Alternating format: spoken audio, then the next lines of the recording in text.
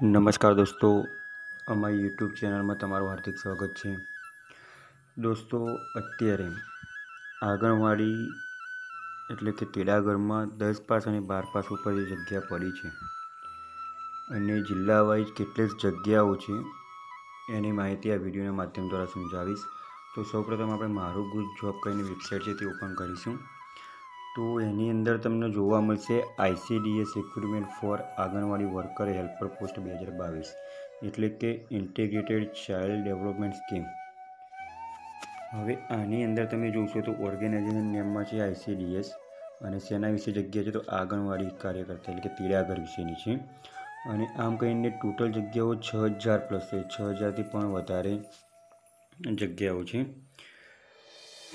હવે આની અંદર તમે જોઈ શકશો કે આંગણવાડી વર્કર, આંગણવાડી હેલ્પર અને મિની આંગણવાડી વર્કર. અને આ તમામે તમામ જગ્યા માટે તમારે ક્વોલિફિકેશન એટલે કે તમે દસ પાસ કાં તો બાર પાસ કરેલું હોવું જોઈએ. અને આ જગ્યા ભરવા માટે તમારે અઢારથી તેત્રીસ વર્ષ હોવા જોઈએ.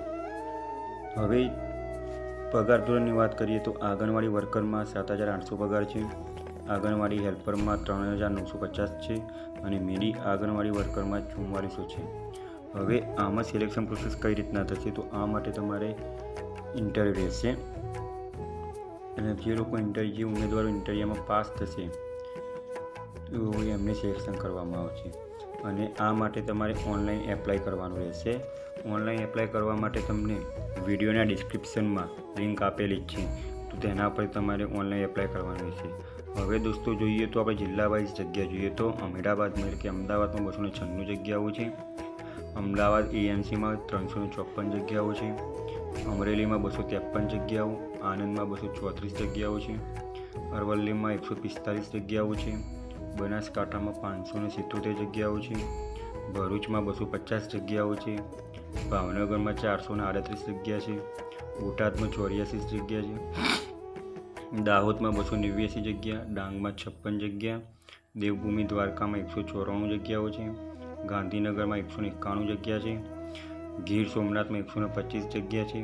જૂનાગઢમાં બસો એકાવન જગ્યા છે. જૂનાગઢ જીએમસીમાં ચારસો ઓગણ સોરી ઓગણપચાસ જગ્યાઓ છે. મહીસાગરમાં એકસો ઓગણત્રીસ જગ્યાઓ છે. નવસારીમાં એકસો પંચ્યાસી જગ્યા છે. નર્મદા એટલે કે રાજપીપળામાં સો જગ્યાઓ છે. પાટણમાં બસો અઠ્યાસી જગ્યા છે. પોરબંદરમાં નેવું જગ્યા છે. રાજકોટમાં ત્રણસો અઢાર જગ્યા છે. રાજકોટ આરએનસીમાં છપ્પન જગ્યાઓ છે. સાબરકાંઠામાં બસો ને બાવીસ જગ્યાઓ છે. સુરતમાં એકસો સિત્તોતેર જગ્યા છે. સુરત એ બસો ને ચૌદ જગ્યા છે. સુરેન્દ્રનગરમાં બસો ને એક્યાસી જગ્યાઓ છે અને વડોદરામાં બસો ને છત્રીસ જગ્યા છે. આમ કહીને ટોટલ અઠ્યાવીસ જિલ્લાઓમાં અલગ અલગ છ હજાર કરતાં પણ વધારે જગ્યાઓ છે. તો આ માટેના ફોર્મ ભરવાના ચાલુ. આજથી એટલે કે પંદર ત્રણ બે હજાર બાવીસથી શરૂ થશે અને છેલ્લી તારીખે છેલ્લી તારીખે ચાર એપ્રિલ બે હજાર બાવીસ. હવે તમારે ફોર્મ ભરવા માટેની વધારે માહિતી જોઈતી હોય, તો અહીંયા મોર ડિટેલ્સની એપ્લાય ઓનલાઈન આપેલી છે. ફોર્મ ભરવા માટે તમારે અહીંયા એપ્લાય ઓનલાઈન પર ક્લિક કરશો, એટલે તમારી એની મેન વેબસાઇટ ખોલી જશે અને એની અંદર જઈને તમારે ફોર્મ ભરવાનું રહેશે. હવે આ ફોર્મ ખોલ્યા બાદ તમને મોબાઈલની સ્ક્રીન ઉપર અથવા તો કોમ્પ્યુટરની સ્ક્રીન ઉપર જમણી બાજુમાં ત્રણ ટપકા દેખાશે એના પર તમે ક્લિક કરશો અને નીચે તમને બે ઓપ્શન દેખાશે હોમ અને રિક્રુટમેન્ટ રિક્રુટમેન્ટ ઉપર જઈને તમે એપ્લાય ઓનલાઈન ઉપર ક્લિક કરશો. એટલે તમારે જે જિલ્લામાં જગ્યાઓ ભરવાની છે, એ જિલ્લા એ જિલ્લા વાઇઝ તમને અલગ અલગ એપ્લાય ઓનલાઈન દેખાશે. તો અહીંયા આપણે ટોટલ કરીને ઓગણત્રીસ જિલ્લાઓમાં જગ્યાઓ છે.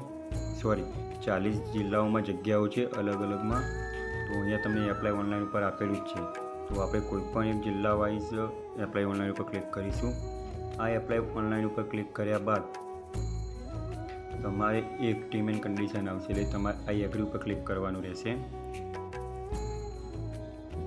અને ત્યારબાદ તમારે રજિસ્ટ્રેશન કરવાનું રહેશે.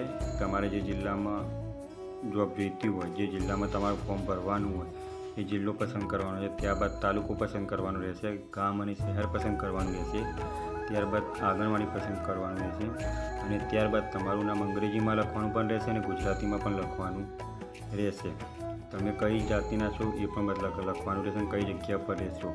હવે મોબાઈલ નંબર લખવાનો રહેશે અને એ મોબાઈલ નંબર ઉપર તમારે એક ઓટીપી જશે. એ ઓટીપી તમે સબમિટ કરશો, એના પછી તમારું ફોર્મ ખુલશે. તો દોસ્તો, જે મહિલાઓએ દસ અને બાર પાસ કરેલું છે, તેમના માટે ઉત્તમ તક છે. અને આવી જ નવી જાહેરાતો જોવા માટે અમારી વેબસાઇટની મુલાકાત લેતા રહો. મારો ગુડ જોબ ડોટ કોમની તો દોસ્તો, તમને આ વીડિયો ગમ્યો હોય તો લાઈક કરજો શેર કરજો અને સબસ્ક્રાઈબર કરજો અને જરૂરિયાતમંદોની આગળ શેર કરજો. Thanks for watching the video